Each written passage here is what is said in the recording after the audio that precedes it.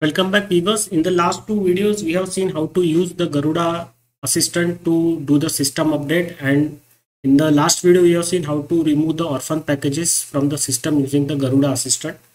In this video, we will do check how to clear the package cache. So what happens is in the uh, two videos back, we had done the system update and around 1000 packages were downloaded.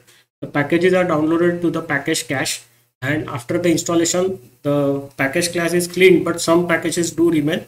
So we have to uh, time to time clear the package cache otherwise what will happen is the load will increase and the system will slow down. Even the booting times get affected when the there is the hard disk is gets occupied. So if you have got say root uh, file system is 10 gb and uh, over a period of say six months or one year almost 4 or 5 gb uh, package cache size will increase so the package uh, cache size might go up to 4, 4 5 GB in one year of usage and then it will slow down your system.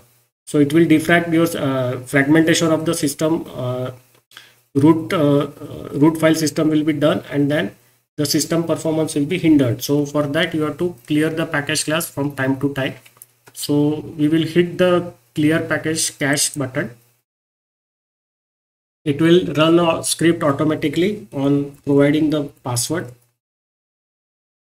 You can see here the seven packages were removed and the disk space saved was around 3 MB.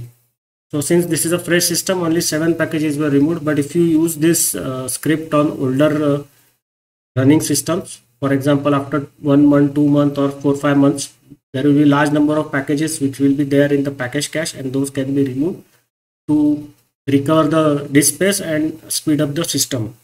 So with this i will stop the video here. See you in the next video. Bye bye